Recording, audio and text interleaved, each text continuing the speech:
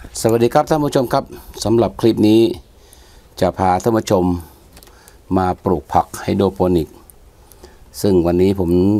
ต้องการที่จะปลูกสะระแหน่ไฮโดรโปนิก วันนี้มีกล่องโฟมเก่านิดหนึ่งใบท่านผู้ชม ความยาวของกล่องโฟมก็อยู่ที่ 19 นิ้วนะครับ ความลึกก็อยู่ที่ 11 นิ้ว ส่วนความกว้างก็อยู่ที่ 14 นิ้ว ก็มีกล่องโฟมเก่านี่หนึ่งใบนะไปขอเข้ามา ปกติก็จะใช้ปลูกดิน ใช้ดินปลูกพืชผักนู่นผักนี่วันนี้จะมาลองปลูกผักไฮโดรโปนิกนะโดยใช้กล่องโฟมนี่เป็นวัสดุปลูกพี่น้องเกษตรมือใหม่ท่านถ้าท่านใดสนใจอยากจะปลูกมาติดตามรับชมกันครับท่านผู้ชมครับ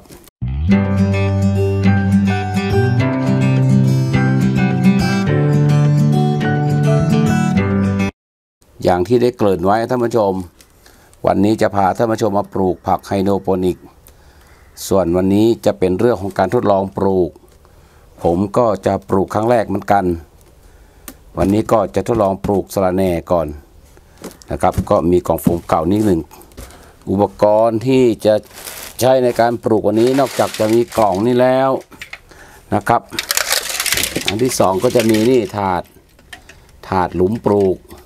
ถาดหลุมปลูกให้ผักไฮโดรโปนิก อันนี้ก็ตกถาดละ 20 บาท มีทั้งหมดอยู่ 80 หลุม 80 ถ้วย อันที่สองก็จะเป็นฟองน้ำนะครับฟองน้ำอันนี้ซื้อมาจากร้านโครงการหลวง วันก่อนนั้นไปหาซื้อร้านที่มันขายไฮโดรโปนิกมันหมด ก็เลยไปเอาที่โครงการหลวงมา อันนี้ค่อนข้างจะแพงนะ อันเนี้ย มีอยู่ร้อยชิ้นนะมีร้อยชิ้น เขาจะผ่าเป็นชิ้นๆเล็กๆเนี่ยร้อยชิ้น ก็ตกอยู่ 30 40 บาทนะตกอยู่ 40 บาทแล้วท่านผู้ชม อันนี้ค่อนข้างจะแพงปกติเมื่อก่อนที่ผมซื้อจะอยู่ตกที่ 15 บาทถึง 20 บาท ไม่เกิน 20 บาทนะครับวิธีทำวิธีทำนะครับก็เตรียมเรื่องลังเรื่องกล่อง เรื่องกล่องโฟม ถ้าเป็นกล่องเก่าแล้วก็ จัดการรอยแตกรอยไรให้มันเรียบร้อยก่อนเอาเทปมาทับทับให้มันรู้สึกมันแน่นขึ้นอตอนที่สองขั้นตอนที่สองก็เจาะรูท่านผู้ชมครับ อันนี้ผมเอานี่มาใส่ก่อนก็จะให้ดูสักห้าหกรูก่อน ขั้นตอนที่สองฝามันแล้วก็มาเจาะรูในการปลูกสะระแหน่ตรงนี้ ผมก็จะกำหนดอยู่12 ต้น แถวละ 3 ก็จะมีอยู่ 4 แถว ก็จะปลูกอยู่ 12 ต้น ถ้ามันแตกพุ่มขึ้นมาเนี่ยมันก็จะพอดี แต่ว่าถ้าเราจะไปปลูกพวกสลัดนี่น่าจะเป็น 3 หลุม ถ้าถ้ากล่องขนาดนี้นะครับ อาจจะมีเนี่ยหนึ่งหลุม 2 หลุม 3 หลุมนะครับ ตรงนี้อีกหนึ่งสองสามมันน่าจะได้สักหกต้น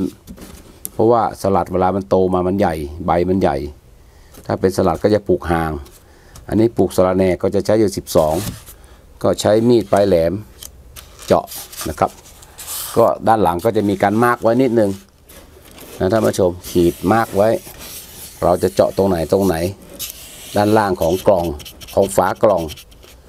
ก็จะปากกาหรือดินสอมาขีดทำ mark ไว้เราจะเอาเท่าไหร่กว้างเท่าไหร่ ก็มากำหนดเอามากำหนดเอา เสร็จแล้วเราก็เจาะเจาะด้านบนก็จะได้เป็นอย่างนี้ ส่วนตัวถ้วยมันนะครับตัวถ้วยมันอ่าตัวถ้วยมันก็จะเป็นลักษณะแบบนี้ ด้านล่าง เขาก็จะผ่าให้ตรงนี้นะครับเนี่ย จะผ่าตรงนี้ให้เนาะผ่าตรงนี้ให้ ผ่าด้านล่างให้อย่างนี้นะครับท่านผู้ชม เราก็ตัดตรงนี้ออกอ่าถ้วยนี่ก็สามารถตัดออกมาเป็นชิ้นๆได้นะครับ ตัดออกมาเป็นชิ้นๆเลย ตัดออกเป็นชิ้นๆได้ ก็เมื่อเราตัดออกมาเป็นชิ้นอย่างนี้แล้ว ด้านล่างของมันก็เอากันไกรตัดตรงที่เขาบากตรงนี้ออกตรงนี้ตรงนี้ต้นมันจะแย่ลงไปหรือรากมันจะแย่ลงไปนะครับ นี่นะครับ เราก็ตัดตรงนี้ออกอเมื่อได้อย่างนี้ปุ๊บเมื่อเราเตรียมอย่างนี้เรียบร้อย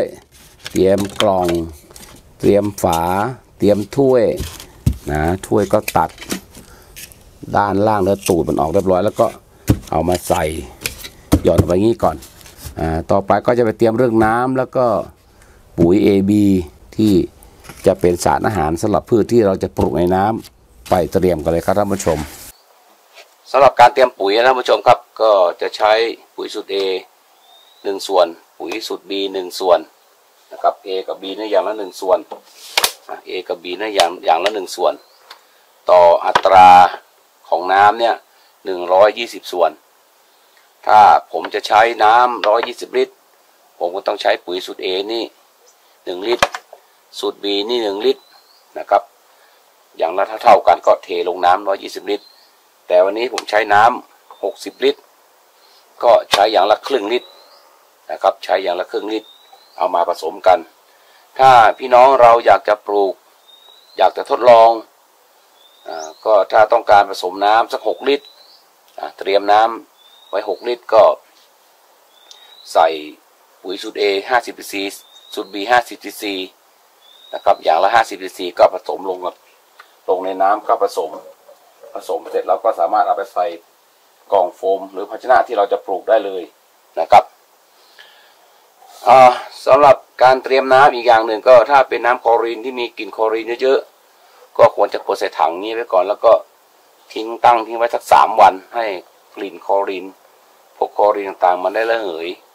ออกหรือไม่ได้จางไปนะครับ เอาตั้งทิ้งไว้ก่อนนะทิ้งไว้สักสามวันจนกว่ากลิ่นคลอรีนจะหมด แล้วเราค่อยเอาไปปลูกผักไฮโดรโปนิกนะครับท่านผู้ชม วิธีการปลูกไฮโดรโปนิกก็มีหลายวิธีนะตั้งแต่เริ่มเพาะกล้าเริ่มตั้งแต่อะไรต่างๆ หลายวิธีแต่วันนี้อยากจะปลูกสะระแหน่ก่อน นะจะทำสะระแน่ก่อนก็เดี๋ยวจะไปหาพื้นที่แล้วหากล่องโฮมไปวาง ไปดูกันครับท่านผู้ชม วิธีการที่จะปลูกสะระแน่แบบผักไฮโดรโปนิกครับไปดูกันครับ ตอนนี้ก็ได้สถานที่ที่จะมาวาง ผมก็จะมาตั้งบนโต๊ะปลูกผักของผมจะมีพื้นที่ว่างอยู่ตรงนี้นิดนึงก็จะกล่องโฟมมาวางไว้ตรงนี้ครับท่านผู้ชมนะครับ มาวางไว้ตรงนี้ เมื่อเราได้สถานที่ที่วางกล่องโฟมเรียบร้อย สิ่งที่จะทำขั้นตอนต่อไปก็ผมก็จะเอาถุงพลาสติกนะครับเอามาลองลงไปทีหนึ่งครับถุงพลาสติก ก็จะใช้ถุงใบใหญ่นิดนึง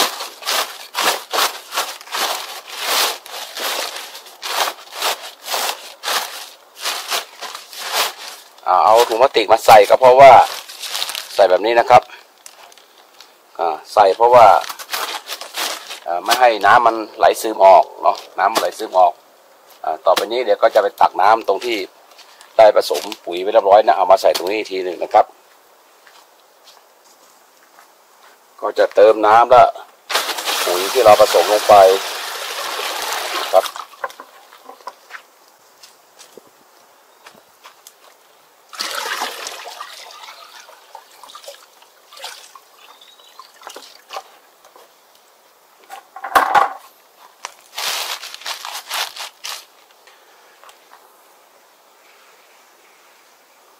แบบนี้นะครับท่านผู้ชมเกือบเต็มนะเกือบเต็มก็เหลือขอบไว้ประมาณนิ้วหนึ่งนะครับเผื่อเรานี่ครอบลงไป ไม่รู้จะถึงหรือเปล่าเดี๋ยวต้องลองอีกทีหนึ่งถ้ามันยังไม่เต็มดีแล้วก็เติมน้ำอีกเพิ่มนิดนึงเพิ่มน้ำอีกนิดนึงนะครับ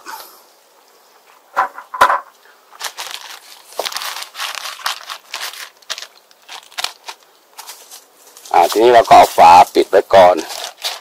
เดี๋ยวจะปลูกแล้วครับท่านผู้ชม เดี๋ยวเราจะปลูกแล้วอ่ามันปลูกครั้งแรกกันท่านผู้ชม อาจจะกุกกักกุกกักนิดหน่อยนะครับ มันอาจจะกุกกักอะไรนิดหน่อย เพราะว่าเรายังไม่มีความชำนาญเนาะก็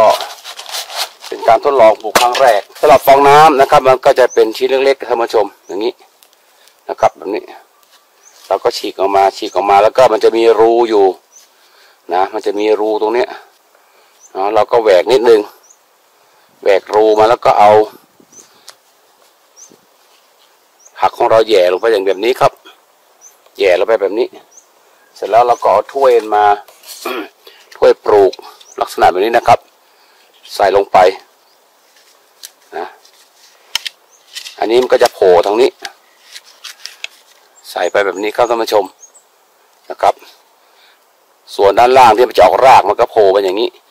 เราอยากให้มันโผล่ลกลึกโผล่เยอะเราก็ดึงลงมา ดึงลงมาแบบนี้นะครับ ดึงลงมา ส่วนด้านนี้มันก็จะไปอยู่ที่น้ำและที่ปุ๋ย มันก็จะออกราก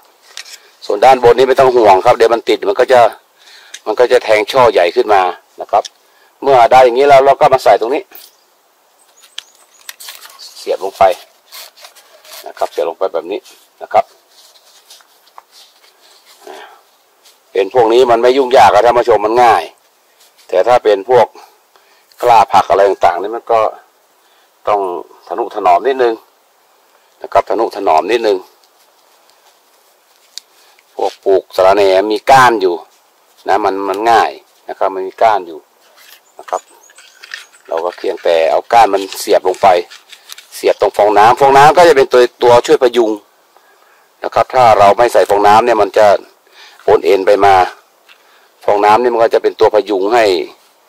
ผักของเราได้ตั้งตรงนะไม่โอนเอ็นตอนเราปลูกใหม่ๆนะครับได้อย่างนี้แล้วก็ใส่ลงไปเทียบลงไปแบบนี้ครับ ผมค่อนข้างจะเอาลงลึกนิดนึงนะครับ เอาลงลึกนิดนึง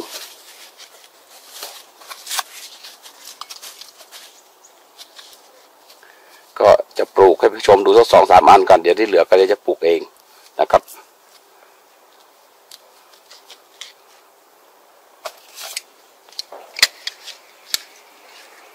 ก็ไม่ยุ่งยากอะไรมากมายนะครับ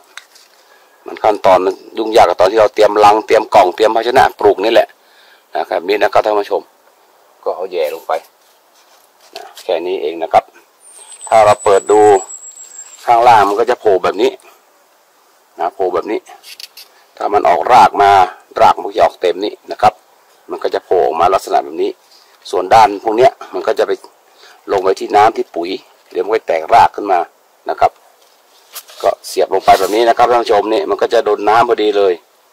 เมื่อเราปิดฝาลงไปมันก็จะไปจุ่มลงในน้ำตรงนี้นะครับ น้ำปุ๋ยของเรา อันนี้ก็ปลูกเสร็จเรียบร้อยนะครับท่านผู้ชม ก็คอยดูติดตามต่อไปว่า มันจะงามขนาดไหน ในการปลูกสะระแหน่แบบผักไฮโดรโปนิก นี่ครับท่านผู้ชม หลังจากที่ได้ปลูกสะระแหน่ในกองโฟม ผ่านไปหนึ่งเดือนนะครับ ก็เจริญเติบโต อันนี้ปลูกในกองโฟม โดยไม่ใช้ดินนะครับท่านผู้ชม เดี๋ยวจะเปิดให้ท่านผู้ชมดูรากของมัน นี่ครับรากของมัน อันไหนที่รากยาว รากยาว รากดีก็จะแตกพุ่มสวยอยอดไหนที่เอามาเสียบแล้วรากยังแตกไม่ดี พุ่มก็เนี่ยท่านผู้ชม พุ่มก็จะเล็กๆนะพุ่มก็ยังแตกไม่เยอะ ปลูกพืชไม่ว่าจะปลูกที่ดิน ปลูกในน้ำมาท่านผู้ชม ระบบรากนี่สำคัญ ถ้าระบบรากเขาดีท่านผู้ชมเห็นไหมครับ นี่ยาวเฟ้ยอย่างนี้ รากดีแบบนี้ ด้านบนนะทรงพุ่มก็จะแตก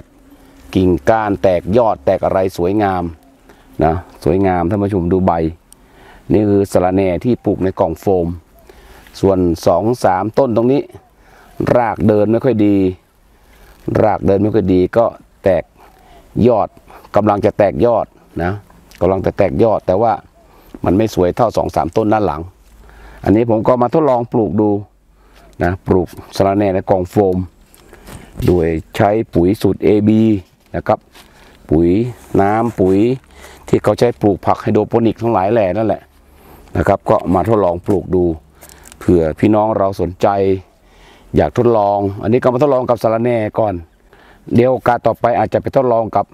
พืชอื่นๆ ผักอื่นๆ ก็จะทดลองปลูกดูนะครับท่านผู้ชมครับ วันนี้ทดลองแค่หนึ่งกล่องโฟม เป็นกล่องโฟมขนาดเล็ก เอามาทดลองดูท่านผู้ชมก็คงจะเห็นแล้วนะครับ พี่น้องท่านใดสนใจอยากจะทดลองปลูกดู ก็ลองทำดูนะครับท่านผู้ชมครับ พี่น้องมีข้อคิดเห็นอย่างไรก็เขียนคอมเมนต์กันมาได้ ท่านใดเคยปลูก หรือยังไม่เคยปลูก นะมีความคิดเห็นอย่างไรก็เขียนคอมเมนต์มาพูดคุยกันได้นะครับ พบกันใหม่ในคลิปหน้านะครับ สวัสดีครับ